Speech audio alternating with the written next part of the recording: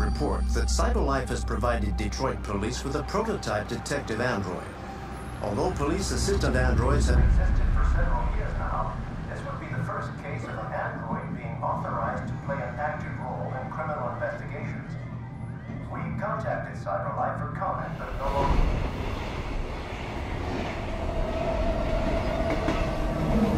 We are now approaching